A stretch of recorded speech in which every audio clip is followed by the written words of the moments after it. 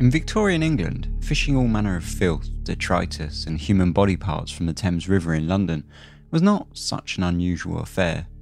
Used for centuries as a dumping ground and waste disposal, it became so bad that by the mid 19th century it was renamed the Great Stink. In 1879, a coal porter pulled out an old wooden box and unearthed one of the more macabre treats the river has tossed up over the years when he opened it to discover a heavily mutilated body. The mutilations might have been somewhat notable, but far more so was the killer, who once tracked down was found to be a woman, a fact that rocketed it straight into the spotlight of public attention. This is Dark Histories, where the facts are worse than fiction.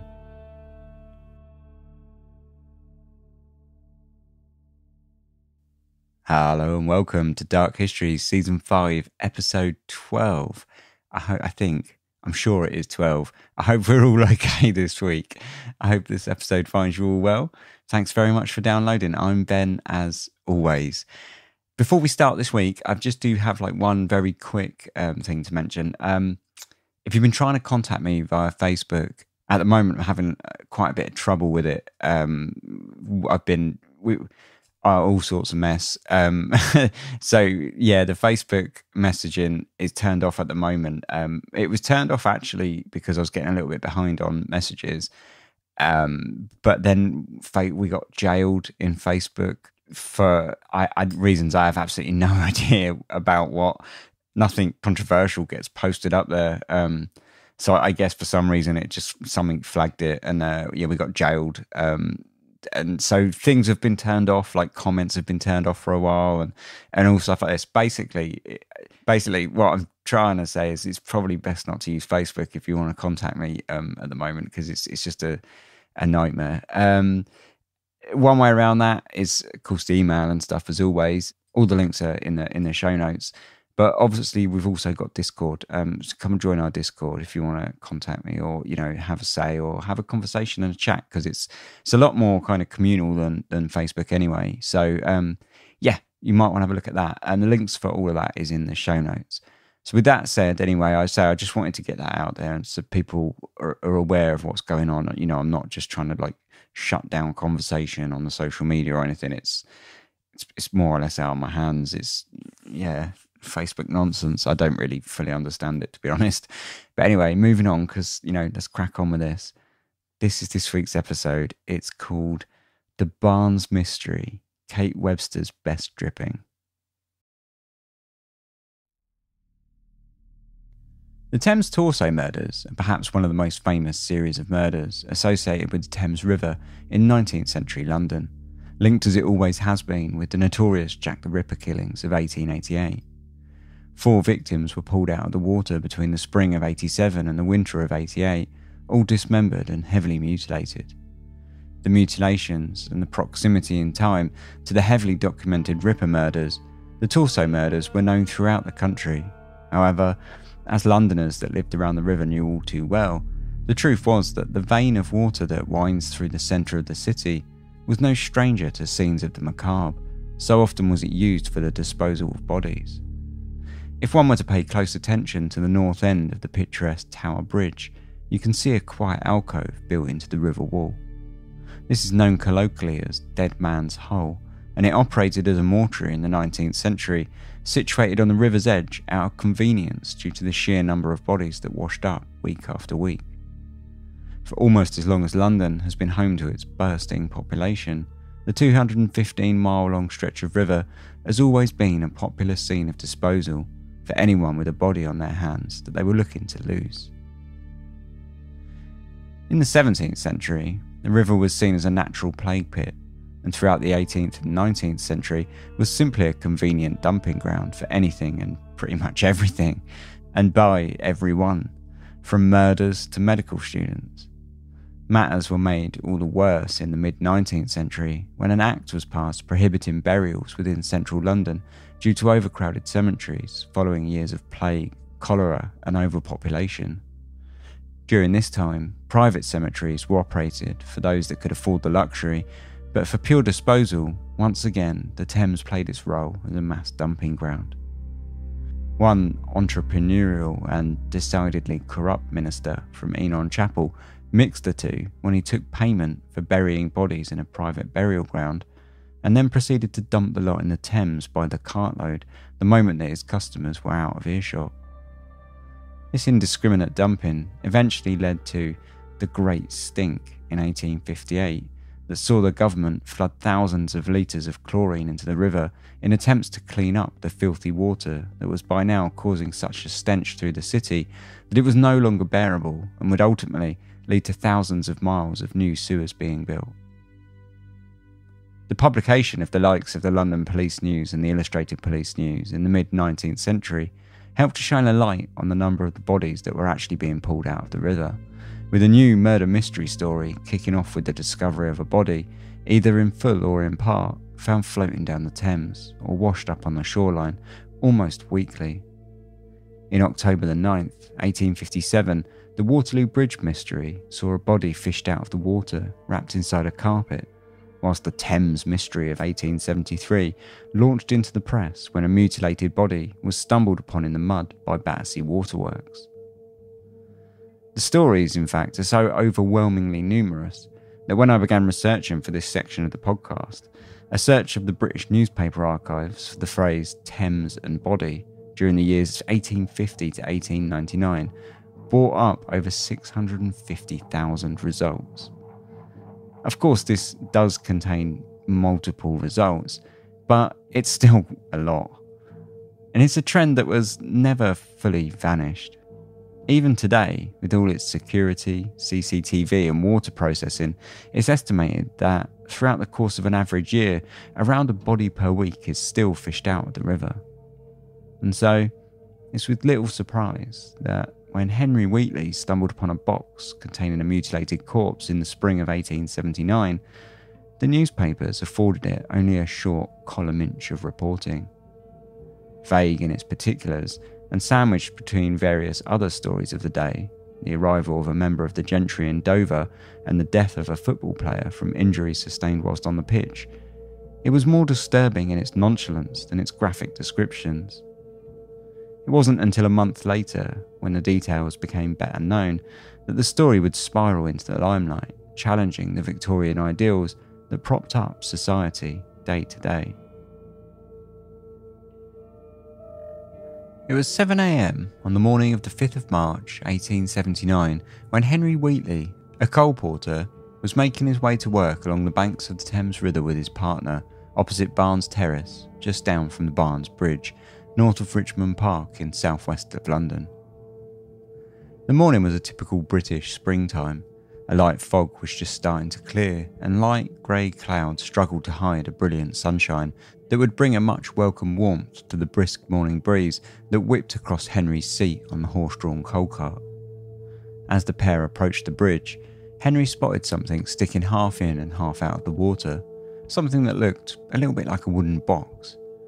Thinking it might be the proceeds of a burglary, he pulled the cart to an abrupt stop and, jumping down, he skipped across the muddy bank to pull it out of the water and get a better look. When he reached the waterline, he found the box was of a relatively plain design, about a foot square, with a lid and brass hinges wrapped in a corded rope. Grabbing it by its one remaining handle, he hauled it up to dry land and ran his knife across the rope, kicking the box open. The contents tumbled out onto the grass verge, various lumps of meat, each individually wrapped in brown paper. Henry's partner assumed they'd dredged up an old casket of butcher's meat, but Henry wasn't so sure. There were packages that looked a little bit too familiar, and they certainly didn't fit any animal. Taking a diversion to the Barnes police station, he reported his find just to be sure. That morning, Inspector Harbour was on duty to take the coal porter's report, and he called for the doctor and made his way down to the river to take a look. Dr. James Adams showed up soon after and inspected the lumps of flesh, and just as Henry Wheatley had suspected, immediately declared it as human. They were found to consist of the upper part of the chest, the heart, the right lung, and the right shoulder joint attached to the body and chest, a small portion of the bone of the upper arm being attached to the trunk. The left upper arm had been taken away from the shoulder. There was also a portion of the right leg which had been cut away below the hip joint. This had been hacked off and separated at the knee. There was also one other portion of the leg cut from under the knee and terminating at the ankle. Dr. Adams had the remains removed to the Barnes mortuary in Barnes Cemetery, where he could make a proper inspection. Once set up in the mortuary, Adams found that it was almost the entire body of a human female, probably aged around 20 to 30 years old, and due to the absence of any significant decomposition, despite his estimates having it in the water between 6 to 10 days, thought that it appeared to have been boiled.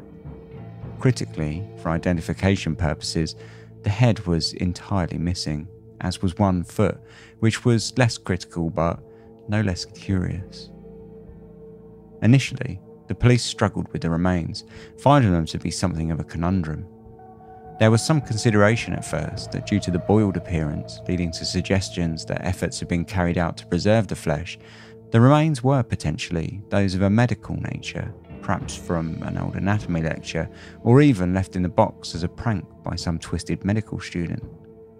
Counter to this theory, however, was the fact that the mutilations were reportedly carried out in what was described as an unskillful manner, which more or less undermined the entire line of thought. The inquest opened on Monday, the 10th of March, at the Red Lion Inn, headed by the coroner, Mr. Hall. Due to the lack of any police leads and of the victim's head, a fact that made identification virtually impossible back in 1879, the only glimmer of information to be had was that the mutilations upon the body appeared to have been carried out after death, and possibly with a blunt instrument. No cause of death could be assumed, as there were no signs of injury in life and no identification could be made, leaving the jury to conclude an open verdict after a week's adjournment. With police completely at a loss, the headlines in the press quickly hit print, calling the disturbing find the Barnes Mystery. The police weren't entirely clueless, however, and they had been out scouring the nearby parklands and knocking door to door in the hopes of uncovering a missing person from the local area for quite a while. A German maid was suspected of being the victim after she had suddenly left her position and she'd failed to meet her new employer despite previous arrangements. There were even rumblings that she had owned a box that seemed to fit the description of the one dragged of the river. It was all very exciting. However, within days, the police tracked her down to a house in Weymouth where she'd taken a new job in the town. It was the end of the line for the police as they stood, but little did they know they were well on the right track. Soon they would become aware of another maid, and one that would turn out to be a far more promising lead. Catherine Lawler was born in Killane, County Wexford, in Ireland around 1849. Brought up on a farm surrounded by a family of Roman Catholics, she led a fairly chaotic early life.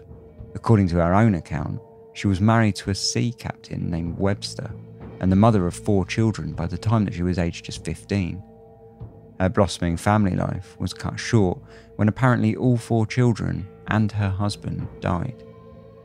The truth of this story is highly doubtful, not only due to the shaky math that would allow her to have four children by such a young age, but also because Catherine, or Kate as she preferred to be called, was a known liar and thief.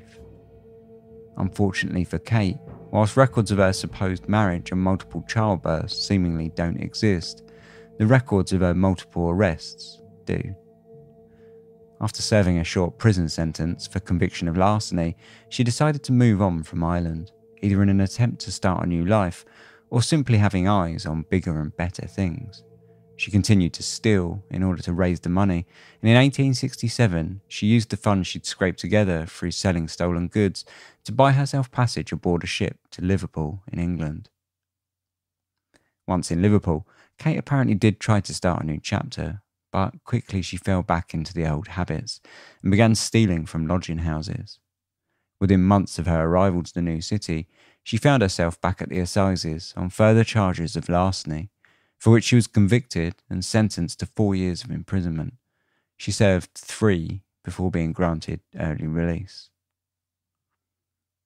After this release, it was clear to Kate that there was more to life than Liverpool, and so she moved down south to London, where she took several jobs, bouncing around the districts as a maid in general service and a charwoman. She struggled to settle for several years, working in Notting Hill, Richmond, and Hammersmith under the names of Kate Webb, Webster, Gibbs, Gibbons, and Lawler. In 1873, whilst working and lodging in Rose Gardens, Hammersmith, she did seem to settle down some, making friends with her neighbours, the Porter family, and giving birth to a son who she named John. John was apparently fathered by a man Kate had been seeing, known only as Strong, though there were suggestions by those close to her that she'd been working the streets, once more casting Kate's dubious family background into complications. Whether or not the father of her child was this man known as Strong is impossible to ascertain. However, it's true that the pair had been having some kind of relationship, and when Strong quickly failed as a father, unable to support their newborn son, the pair slipped seamlessly back into their careers as serial thieves. In 1875, Kate was once more arrested, this time on no fewer than 36 charges of larceny that saw her back behind bars, serving two years in Wandsworth Prison in southwest London. I became very impoverished, forsaken by John's father, and committed crimes for the purpose of supporting myself and my child. Whilst imprisoned, John was placed into the care of Mrs. Creese, a close friend of Kate's, who she had come to be familiar with through Strong, and upon her release, it was to Mrs. Creese she once more turned to help to find a new job. This new leaf wasn't to last once more, however, and Kate continued to struggle to settle into a life of honest graft. Within two years, she was arrested once more and thrown into a cell for a further 12 months. Always keen to help, it was Mrs. Creese who continued to try to find the best in Kate, or, at the very least, she felt sorry enough for John to do her best to straighten his mother out. Upon her release in 1878, Kate moved into Mrs. Creese's apartment in Mitchell Road, Richmond, where her and her son stayed with the woman, and quickly she began having an affair with Mrs. Creese's adult son. Mrs. Creese worked for an elderly woman in a nearby Richmond residence at number 2 The Crescent named Mrs. Loder, Whilst Kate found her feet back outside of prison walls, she occasionally stepped in to work for Mrs. Creese, covering for her from time to time, usually on Saturdays. Mrs. Loder liked Kate enough, and she suggested that if she was looking for full time work, perhaps she could work for her friend, Mrs. Thomas, who was in need of a charwoman. Thomas, she said, was distinctly eccentric, but a nice old lady who, aside from getting vexed and putting out for no apparent reason, was pleasant enough. Perhaps it was a genuine urge from Kate to see herself right that she committed to visiting Mrs. Thomas to see about the job under Mrs. Loder's recommendation. Or perhaps it was the fact that Mrs. Loder described the old lady as fond of dress and jewellery. Whichever way it was, Kate soon found herself taking on the position of maid in Mrs. Thomas's house, number 2 Vine Cottages, in Richmond, on the 27th of January, 1879. At first, Kate got on quite well with her new mistress. She learnt that Mrs. Thomas had previously worked as a schoolteacher in Kingston, London, until she married her second husband, John Thomas. Mr. Thomas had died in 1873, and since then Mrs. Thomas had been living in Vine Cottages alone. As usual, however, Kate soon found honest life a struggle to conform to. At first, I thought Mrs. Thomas a nice old lady, and I hoped that I might be comfortable and happy with her, but I found her very trying, and she used to do many things to annoy me during my work. When I had finished my work in my rooms, she used to go over it again after me and point out places where she said I did not clean, showing evidence of a nasty spirit towards me. This sort of conduct towards me by Mrs. Thomas made me feel an ill feeling towards her. Mrs. Thomas's nasty spirit may not have been entirely imagined by Kate. She was the latest in a long line of servants who had taken a position under the strict mistress, only to struggle and eventually leave. It took Kate less than a week to hand in her notice.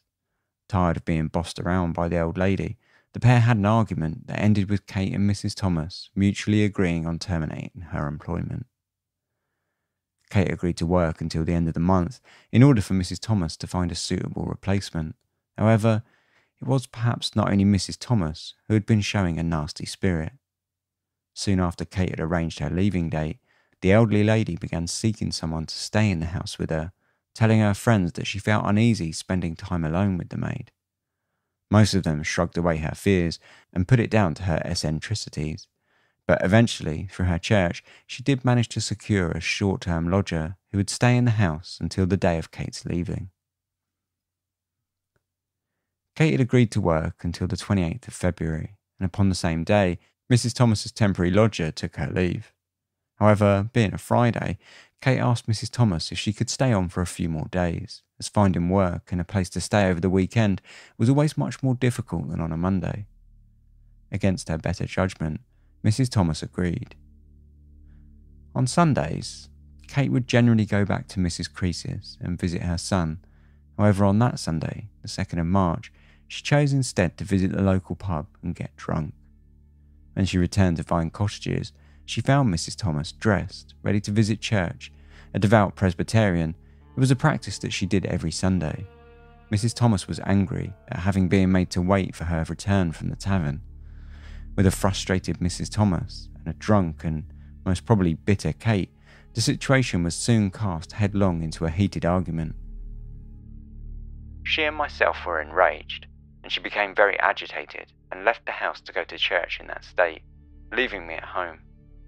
Upon her return from church, before her usual hour, she came in and went upstairs. I went up after her, and we had an argument which ripened into a quarrel, and at the height of my anger and rage, I threw her from the top of the stairs to the ground floor. She had a heavy fall. I felt that she was seriously injured, and I became agitated at what had occurred, lost all control of myself, and to prevent her screaming or getting me into trouble, I caught her by the throat, and in the struggle, she was choked. I threw her onto the floor. With a dull thud, Mrs. Thomas's body hit the floor of the house, leaving Kate in a frenzied panic. Realizing that she was likely to be in serious trouble if the body were discovered, she quickly set about covering up as much evidence of the crime as she could. I determined to do away with the body as best I could. I chopped the head from the body with the assistance of a razor, which I used to cut through the flesh afterwards. I also used the meat saw and the carving knife to cut the body up with. I prepared the copper with water to boil the body to prevent identity, and as soon as I had succeeded in cutting it up, I placed it in the copper and boiled it. I opened the stomach with the carving knife and burned up as much of the parts as I could. I burned one part of the body after chopping it up and boiled the other. I think I boiled one of the feet. I emptied the copper, throwing the water away after having washed and cleaned the outside. I then put parts of the body into the little wooden box. During the whole of this time, there was nobody in the house but myself. When I looked upon the scene before me and saw the blood around my feet, the horror and dread I felt was inconceivable. I was bewildered, acted as if I was mad, and did everything I possibly could to conceal the occurrence, keep it quiet, and everything regular, fearing the neighbours might suspect something had happened. I was greatly overcome, both from the horrible sight before me and the smell, and I failed several times in my strength and determination. But was helped on by the devil in this vital purpose. I remained in the house all night, endeavouring to clear up the place and clean away traces of the murder. The following day, Kate continued her clean-up job of the grim scene that she'd wrought upon the small cottage. She tossed as many of the removed bones from Mrs. Thomas's body into the grate, burning them in the furnace, then wrapped as much of the boiled flesh as she could in brown paper, stuffing it into a small wooden box. The box served the purpose well enough, but there was not enough room for the final foot, nor the head of Mrs. Thomas. However, Kate was wise enough to realise that it would be better to discard the two separately anyway. Tossing the decapitated head into a black cloth bag and leaving it in the kitchen for the time being, she took hold of the foot and set out on an early morning stroll, discarding the leftover limb on a manure heap in Kingston pawning the old lady's dentures on her way back to Hammersmith for six shillings, which she quickly drank away in the pub before heading back home and continuing her cleaning operation. It was whilst she drank in the pub that one of the more disturbing rumours was born. As she got slowly more drunk, Kate apparently began offering for sale jars of her best dripping to the locals, Whilst it's unclear if anyone took her up on the offer or if the event was actually true at all, it is true that police later found two jars of reduced human fat behind the fireplace in the kitchen.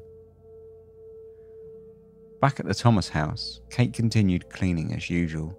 In order to avoid arousing suspicion, she went about doing the laundry and continued to order the household goods, such as coal and groceries, from the servicemen that continued to visit, as well as propping up the washing line in order to hang the laundry in full view of the neighbours, who suspected nothing despite noticing a slight off smell emanating from the kitchen of the house. There were a few tense moments. A coal porter knocked on the door seeking Mrs. Thomas in order to settle an account on one morning, and the neighbour of Mrs. Thomas's landlord, Mrs. Ives, sent her maid over in order to confirm a visit by a pair of builders in order to fix a leak in the roof. Kate made short work of shooing them all away, telling the coal porter that Mrs. Thomas wasn't home, and telling the maid that the builders were no longer necessary, as the leak had not been such a big deal and appeared to have fixed itself. Tuesday, the 4th of March, saw Kate begin phase two of the clean-up plan that she'd been concocting whilst cleaning up the murder scene. Dressed in one of Mrs. Thomas's silk dresses and wearing her gold bracelet, watch, and a selection of her gold rings, Kate grabbed up the black bag containing her old mistress's decapitated head and paid a visit to the Porter family, whom she had been on friendly terms with when she had lived in Rose Gardens in Hammersmith six years earlier. Though she hadn't spoken to them in such a long time, she greeted them at the door like old friends. This may have seemed strange, and one can imagine Mr. Porter racking his brain for who the visitor was, which would have been made all the more difficult when Kate introduced herself as Kate Thomas, rather than Webster. Since their last meeting, Kate told him over tea she had gone on to marry a respectable man named Mr. Thomas, though he had unfortunately recently passed, leaving her a wealthy widower. To complicate the lies, she also told them that recently her aunt had died, leaving her another property in Richmond, which needed to be disposed of in order for her to break ties with the city and return to her family home in Scotland. The purpose of her visit to the porter's home that day was to seek out a broker who might be interested in buying the entire contents of the house. As she calmly sat and explained all this, drinking tea, hammering out a deal for Mrs. Thomas's furniture and belongings, she rested the bag containing the old woman's head against her leg under the table. Completely fooled by Kate's airs and graces, Mr. Porter agreed to introduce her to a broker, and then he and his 16 year old son, Robert, accompanied her back to Richmond Station. Robert, the young gentleman that he was, insisted that he carry Kate's heavy black bag, much to her panic. After a tense walk, the trio stopped into the Oxford and Cambridge Arms pub for a quick drink, at which point Kate told the porters that she must nip out to meet a friend who was to be collecting the black bag from her. Kate disappeared for 20 minutes before returning, apparently the deal complete, as the bag, containing Mrs. Thomas's head, was no longer in her possession. At Hammersmith Station, Mr. Porter returned home, leaving Robert to complete the journey with Kate back to Richmond. When they arrived back at Vine Cottages, Kate requested the young man's help once more. Collecting the box containing the carved up body of Mrs. Thomas from the kitchen, she asked him to help her carry it over to Richmond Bridge, where she told him that she had arranged to meet another friend who would be collecting the box. Together, the pair heaved it along the side of the Thames in another tense journey until they reached the halfway point of the bridge. Kate assured Robert that he should continue along the bridge alone and insisted that she would meet her friend and catch him up at the far end after the meeting was over. As he walked ahead a short distance, the young man heard a loud splash, but looking into the water below, saw nothing that gave away what it might have been. Shortly after, Kate met Robert Sans box, the meeting apparently having gone as planned. Feeling like she had completed a job well done, Kate invited Robert back to Mrs. Thomas's house, and with the old lady now floating in the Thames, the two drank rum until midnight. Over the following week, Kate ran the Thomases' house as she always had.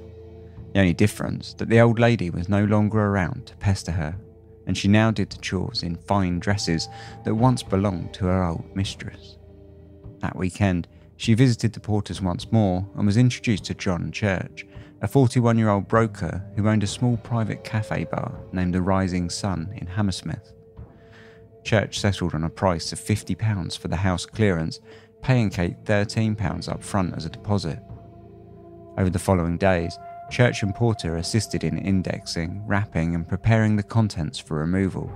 The entire time, Kate explaining to them how she had come to possess the certain items, and even declaring a painted portrait of a man above the fireplace as her deceased husband, Mr. Thomas, which it most definitely was not. Things were all progressing smoothly for Kate, the only ropey moment being one afternoon when she was bargaining with Church as a paperboy passed by the house, yellowing a headline into the street. Supposed murder, shocking discovery of human remains in a box in the Thames. Shrugging the headline off as sensationalist rubbish, she bought a copy and ushered the paperboy along on his way. Managing to play the moment with a straight poker face, the afternoon quickly returned to talk of furniture without so much as a hint of suspicion on the part of Church. And so, things continued to progress smoothly, at least until the removal cart arrived on Tuesday, the 18th of March. Upon seeing the men ferrying Mrs. Thomas's possessions out of the house and loading them onto the cart in the street, Mrs. Thomas's neighbour and, awkwardly, her landlord, Mrs. Ives, went out to the cart's driver and asked what was going on. The driver replied that he was waiting to remove the belongings under Mrs. Thomas's orders. So, addressing Kate directly, Mrs. Ives frustratedly asked the maid where Mrs. Thomas was. It would have been a somewhat curious moment when, her guile quickly failing under the pressure, the woman known as Mrs. Thomas to all around her simply replied, I don't know. Finding the answer to be wholly unacceptable, Mrs. Ives stormed off back to her house, mumbling that she would be sure to inquire further into this matter. Kate, clearly flustered by the awkward scene, decided to cut her losses. With £7 in cash that she had removed from Vine Cottages, along with the £13 deposit that she'd received from church, she made a beeline for the porter's home, where her son John was staying, and collected him before skipping aboard a train to St Pancras Station to Liverpool. Once there, she booked a passage aboard a coal steamer to Ireland, heading as quickly as she could for her uncle's farm back in her hometown of Killanne. It was a colossal mistake, driven by sheer panic, as she would soon find out. After Kate's sudden disappearance, Mr. Church quickly grew suspicious of the transaction that he'd arranged with the absent homeowner. Placing a halt on the removal, he aired his suspicions with Mr. Porter who also confirmed that he'd also found the so called Mrs. Thomas's disappearance to be pretty fishy. Church's wife had previously found a letter in one of the dresses that she had removed from the cart, along with a selection of jewellery that Kate, in her hurry to leave, had forgotten to remove. The letter was from a man named Mehenik, and so Mr. Church and Porter sought him out, only to find out that Mehenik never knew anyone by the name of Thomas confirming that he had written the letter to a woman named Kate Webster. With the penny slowly dropping and suspicions quickly rising, Church and Porter decided to take it to the police station, where they reported their story. The inspectors at the station interviewed the two men and called on the young Robert Porter to come in and ID the box that the coal porter Henry Wheatley had found in the Thames several weeks prior. It was a lead, perhaps, with only a slim chance. But then Robert Porter arrived at the station and confirmed that the box was the very same one that he'd helped Kate carry to the Richmond Bridge. As a story quickly developed of the murder, police published a description of Kate in hopes of tracking her down. Wanted for stealing plate, etc., and supposed murder of mistress, Kate, aged about 32, 5 foot 5 or 6 inches high, complexion sallow, slightly freckled, teeth rather good and prominent. Usually dressed in dark dress, jacket rather long and trimmed with dark fur round pockets. Light brown satin bonnet, speaks with Irish accent and was accompanied by boy aged five. Complexion rather dark, dark hair, was last seen at Hammersmith. As it happened, it wasn't altogether necessary as when the police conducted a search of number 2 Vine cottages, they found, along with the burned bones in the fireplace and bloodstains under the floorboards, a letter from Kate's uncle in Ireland, complete with return address. In Kate's rush to leave, she had left a trail that led directly to her. Within days, she was arrested on her uncle's farm by two inspectors from London, John Dowdall and John Jones, charging her with the murder of Mrs. Thomas, as well as stealing her furniture and property. She was transported back to London via Dublin and placed in prison to await trial. Throughout the journey back to London, and while she sat in her prison cell, Kate remained calm, composed, and relaxed. If it was a facade, it was expertly carried out, and it was certainly not reflected across the country, as the public quickly jumped aboard the press sensation.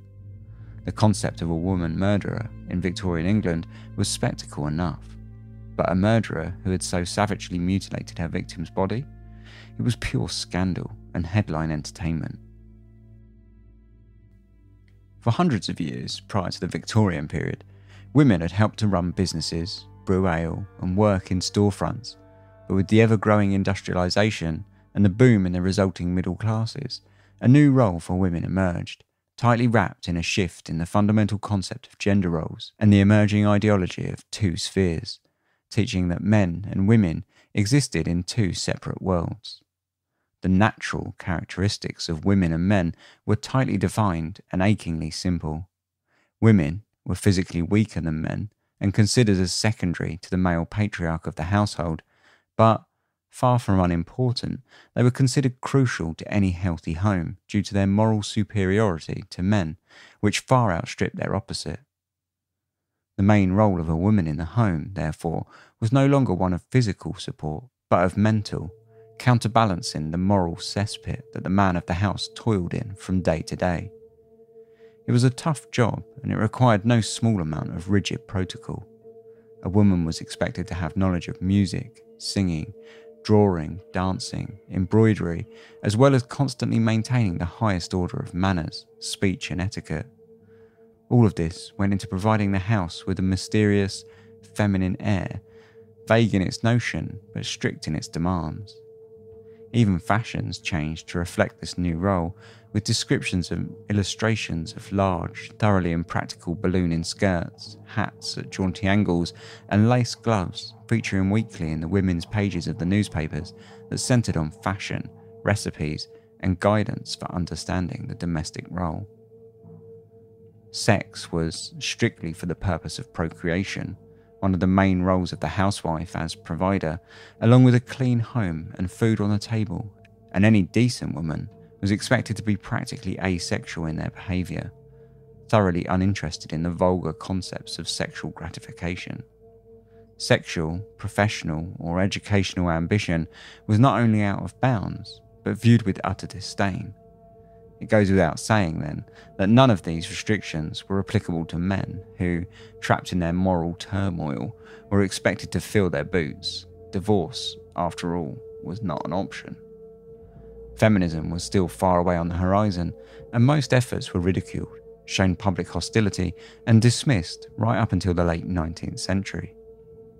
Working class women who were forced into working in the worst conditions and in difficult jobs in order to survive were viewed in a patronising light as victims, poor creatures who had suffered at the hands of society and could only aspire to climb to the lofty heights of the middle class domestic angel. It is through this lens that Victorian female murderers were viewed, and as such, they were seen as a total perversion of social norms. In the case of Kate Webster, who had not only murdered but then savagely butchered her victim, she was viewed as far away from the Victorian ideal of womanhood as could possibly be. In true circus freak nature, her crime was to the public as sensational and freakish as any bearded lady or Fiji mermaid, and it aroused equal interest and excitement. Following her arrest in Ireland, Kate immediately sought to wriggle out from guilt and land those around her in prison for her crime. She asked her arresting officers if they had anyone else in custody for the murder yet, and when they replied in the negative, she told them, There ought to be. The innocent should not have to suffer for the guilty, leaving the cryptic line hanging in the air while she attempted to think her way out of the predicament she now found herself in.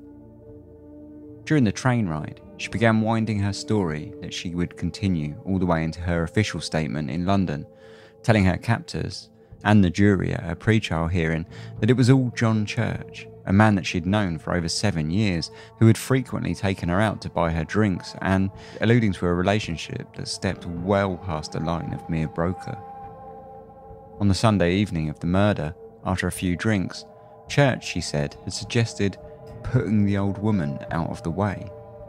Kate, for whatever reason, left Church alone in the house, returning later to find him in the throes of murdering Miss Thomas. She wove the story with small details of truth, and combined with the fact that Church did have a selection of Mrs. Thomas's possessions at his home, the police had little choice but to arrest him on suspicion of murder. Fortunately, for Church, he had an alibi, and it was one that was pretty much watertight. On the night that Kate told police he had murdered Mrs. Thomas, it turned out that he had in fact been chairing a meeting at a social club. Not only could his alibi be confirmed by every single member who had seen him there that night, but he'd also signed into the club's membership book too. Once again, Kate had come up with a plan that seemingly addressed minute details, but skipped over the largest, rendering her plan a colossal failure. Realizing the statement was being written off by the police, she decided to make a second several days later, this time in an attempt to incriminate Mr. Porter instead, saying that he had also been involved in the murder, moving the date of the crime back a day, in all likelihood in the hope it would bypass Church's alibi. By now, however, Kate's statements weren't really fooling anyone, and no further arrests were made. Quickly, the case against Church was thrown out, and public opinion turned sharply against Kate, whose carriage was booed all the way to and from Newgate Prison to the courthouse on each occasion. By now, the investigation into the murder was very much a form of popular entertainment, and people travelled all the way to Ireland to see the farmhouse that she was arrested on, as well as lining the streets outside the courthouse in hopes of catching a glimpse of the murderess butcher and join in with the heckling. By the time of Kate's trial opening, on the 2nd of July 1879, Kate was well and truly a public enemy. She appeared in court looking exceedingly pale and careworn, a description that starkly contrasted her earlier appearances, where she made statements in front of the magistrates looking composed and jaunty. Despite the fact that it was a fairly straightforward affair, with a long stream of witnesses making damning statements against her, the trial was a long, protracted affair, lasting a full six days, a situation that was incredibly rare in the Victorian era when trials of even two days were considered long. Every day attracted a large audience from all levels of society, and it was even rumoured that the Crown Prince of Sweden was in the crowd at one point, attracted by the gory details of the murder. In the closing statements, Kate's defence pushed the questions that the cause of death could not be properly determined, and therefore proof of violence was not necessarily assured, and also upon the possibility of doubt as to whose ashes they were that were found in the furnace following the murder. It was as weak an appeal as it sounds, and the prosecution made a savage rebuke in its closing speech on the final day of the trial, pointing out that the fact that the bones, the box, the cleaning of the house, and the whole host of other details, large and small, all pointed to something, and that that something was most assuredly not anything of an innocent nature. The jury seemingly agreed with the prosecution, and they made short work returning a guilty verdict after just under an hour and a quarter's deliberation. When asked if she had anything to say as to why the court should not carry out judgment, Kate merely blathered on about a new character, the mysterious father of her son, who she now blamed for everything, including the murder. I am not guilty, my lord, of the murder. I have never done it, my lord. When I was taken into custody, I was in a hurry and I made a statement against Church and Porter. I am very sorry for doing so, and I want to clear them out of it. And another thing, I was led to this, my lord. The man who is guilty of all of this is not in the case at all, nor never was. Therefore, I do not see why I should suffer for what other people have done. There was a child put in my hands in 1874. I had to thieve for that child and go to prison for it, which can be brought to your lordship. Anybody can tell it round Kingston or Richmond too. Therefore, the father of that child is the ruin of me since 1873 up to this moment, and he is the instigation of this. He was never taken into custody. I have cherished him up to this minute, but I do not see why I should suffer for a scoundrel who has left me after what he has done. The judge replied curtly that her statement will not warrant me one moment from hesitating to pass upon you the sentence of the law. Kate immediately made a plea of pregnancy, a plea that would see her execution suspended until after childbirth if true, but after an inspection by a matron, it was instantly shot down and discarded. She left the court, headed for the gallows, much to the excitement of the Bayham public. Following the trial, Kate Webster was removed to Wandsworth Prison to await her execution. It was during the long days awaiting the gallows that she finally made her third statement, largely considered to contain the majority of the truth, including her graphic depiction of the murder. The statement still did its best to paint her in a polished light, one that attempted to seek the sympathies of the public. When I got into trouble in Liverpool, it was owing in a great measure to poverty and evil associations, which led me step by step into badness. When I got over that trouble, I formed an intimate acquaintance with one who should have protected me, and being led away by evil associates and bad companions, I became, as it were, forlorn, and forsook everything that might have kept me in the path of rectitude and prevented my unhappy end. I did not murder Mrs. Thomas from any premeditation. I was enraged and in a passion, and I can now recollect why I did it. Something seemed to seize me at the time. I threw her downstairs in the heat of passion and strong impulse, I acted towards her as I have described. I never had a hatred or what may be termed a bad feeling towards anybody in my lifetime, certainly not such as would ever have induced me to do them bodily injury.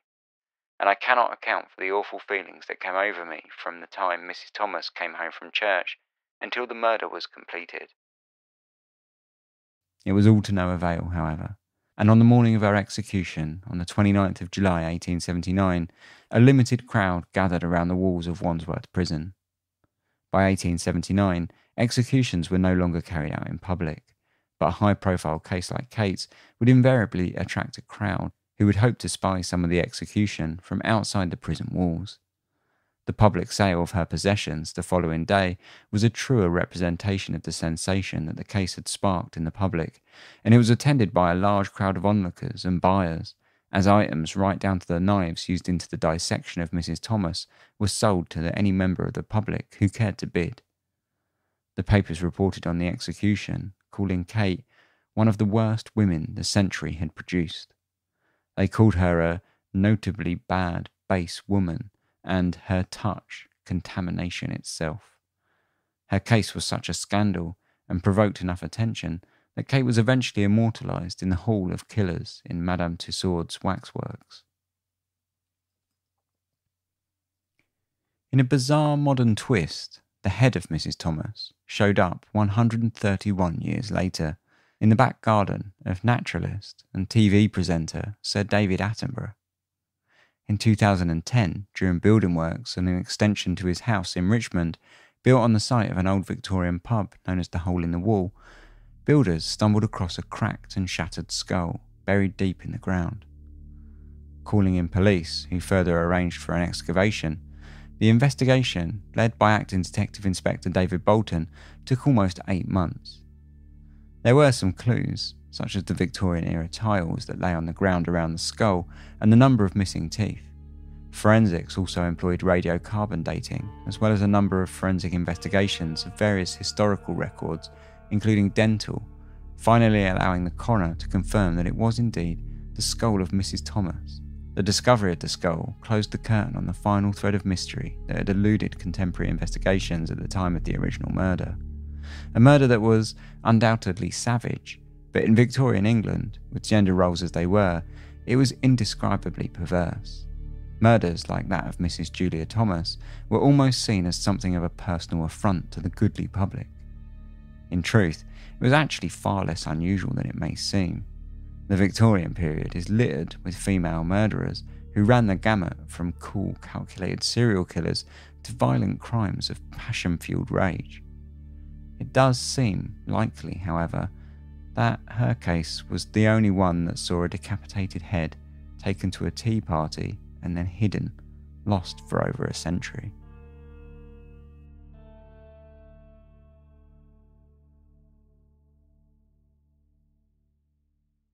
And that was the trial of Kate Webster. Quite a savage little Victorian murder we got going on there. So yeah, we'll chat a little bit about some of the bits and pieces that I sort of came across whilst I was researching that after these short advert breaks. Thanks for listening to Dark Histories. This podcast is entirely independent and funded by myself and listener support. So, in order to do that, I need to run a few ads. Our long-time advertising partner is Audible, and the reason I've stuck with them for so long is that they offer a service that I actually use and enjoy myself. And I do think it actually offers value to people like myself who enjoy podcasts. If you're unaware of what Audible is, it's an audiobook subscription service which charges a monthly fee in return for one credit, which you're free to spend on any audiobook you like. The catalogue is huge multilingual, and covers everything from fiction to series of lectures.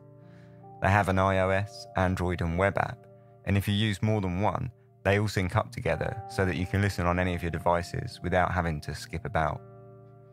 If you ever feel like you want to take a break from the subscription, you can do so and you get to keep all your previously bought books. And when you get into a drought, you can just fire it up again and start gaining credits seamlessly. Some of my favourite books on there to date are The Complete Sherlock Holmes, which is read by Stephen Fry. And they've also got the original Exorcist book and just a huge history back catalogue. And I've really enjoyed all of those basically.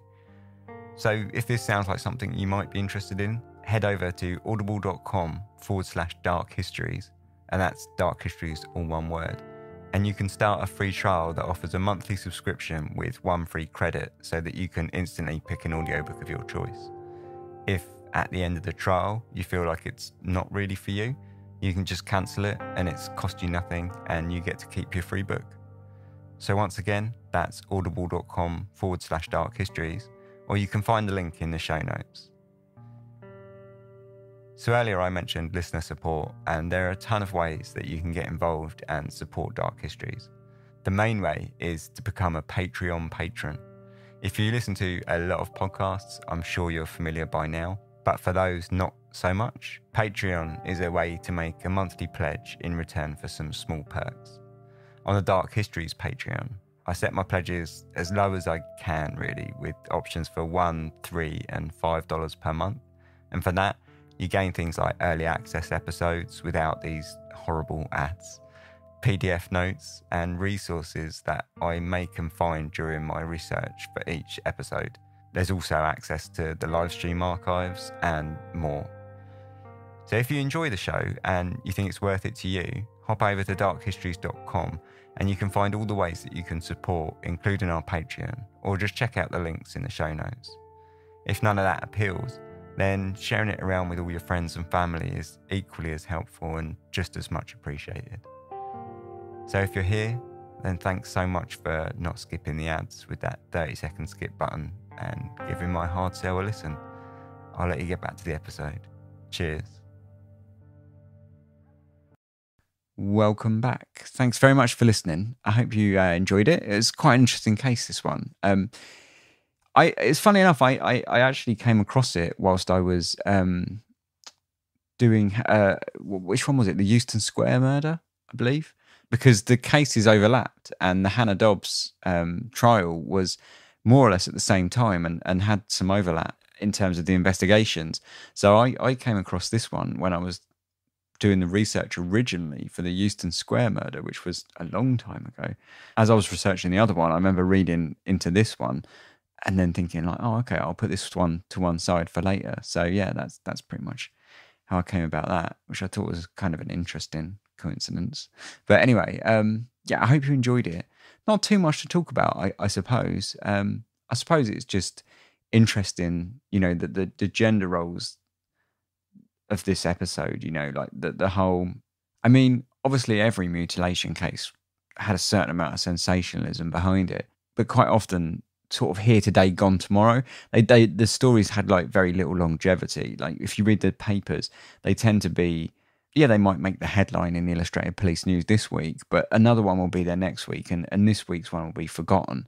They, they, they very rarely have like longevity. The, the, these kind of cases in, in Victorian London, it's it's only the ones that sort of cause like a real great degree of sort of con- controversy or, or sensationalism that, that really have the longevity.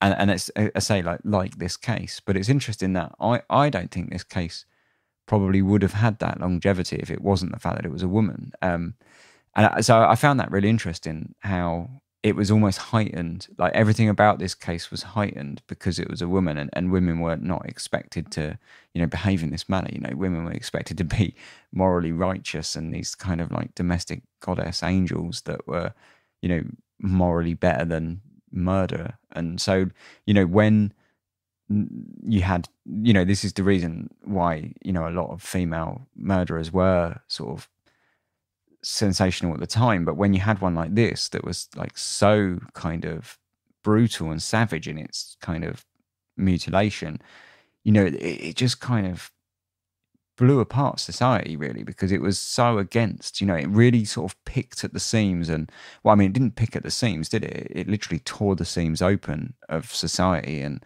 you know displayed the innards for everyone to see um so i found that really interesting that that sort of side of this this week's episode, um, which is, I suppose, why I tried to sort of focus it around that sort of aspect. Because so I that was the aspect that I found most interesting. But yeah, thanks very much for listening. Say there's not any mystery really, so I'll probably leave that there. If you'd like to contact me, you can do so. I say I would, like I said at the start, I probably wouldn't use Facebook at the moment. Um, you can contact me um, an email contact at darkhistories.com or I'm on Instagram, on Twitter.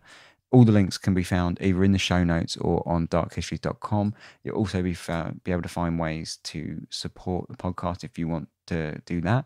And there'll also be the so if you are interested in the community aspect, um, and you know you you wanted to go to Facebook for the community aspect and to talk to people about episodes or that sort of thing, check out the Discord. Um, there's links for that again in the um, show notes and and on the website darkhistories.com. So, yeah, check that out if you would like to. Otherwise, thank you very much for listening. It's been an absolute pleasure as always. I'll see you again in a couple of weeks for the next episode. Thank you very much. Cheers. Sleep tight.